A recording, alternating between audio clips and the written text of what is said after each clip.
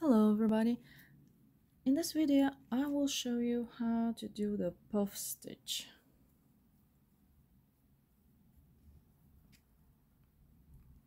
Uh, this will I will show you the tall puff stitch that requires one more one extra step to make it secured to make the top secured. Uh, here I have a few stitches just for the base should be 15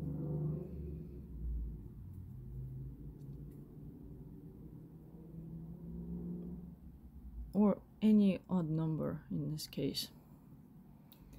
We'll chain two. I won't count them as a stitch. Yarn over. Insert your hook right in that same stitch. Yarn over. Pull up a loop and two more times in that same stitch. Yarn over pull up a loop. Yarn over pull up a loop. You can make as many yarn overs as you want. Depends on how puffy you want your puff stitch. I think with this thick yarn this should be enough. Now yarn over and pull it through all but one last stitch. Pull it here we have six stitches so we pull it through six stitches. And we have two left. Now yarn over and pull this through these two like as if it was a single crochet. This makes our puff stitch already secured on the top. We don't have to chain anymore because we actually single crocheted on top of it now I won't place one next to it because they will be too crowded. So I will chain and skip this one and make another puff stitch in next. Yarn over, insert your hook in next stitch, pull up a loop and two more times in that same stitch. Make sure all the loops are even can tug on them. You have seven loops on hook. Now you yarn over and pull through. Only six of them. You have two loops. Yarn over and finish it as a single crochet.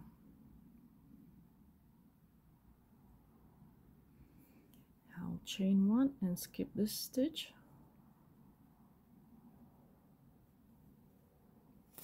Yarn over and insert your hook in next yarn over pull up a loop two more times.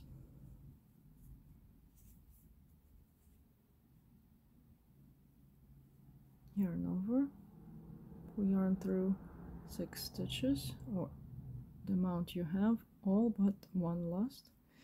Now you have two loops on a hook yarn over and pull through those two. So you're basically creating a single crochet on top of it. Here there's two. Strands like a V.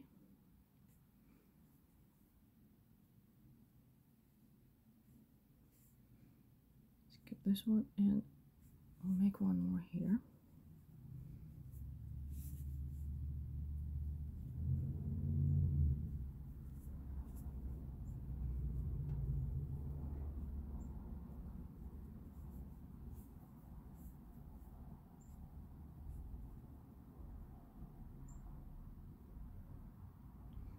This extra step makes this puff stitch not just secure, it's not falling apart, you don't have to make an extra chain to tighten it. It, will, it also makes it taller. It uh, comes out the height of approximately a double crochet instead of half double crochet as our regular puff stitch is.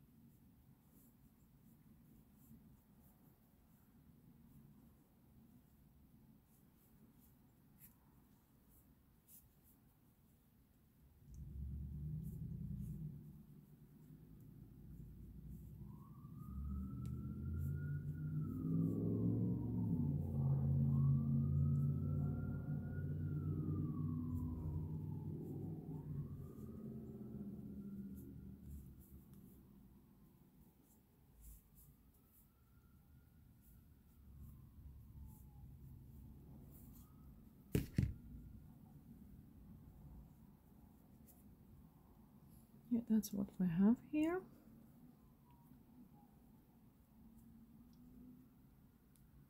You can use this variation of puff stitch if you need to uh, insert them, if you want to insert them somewhere.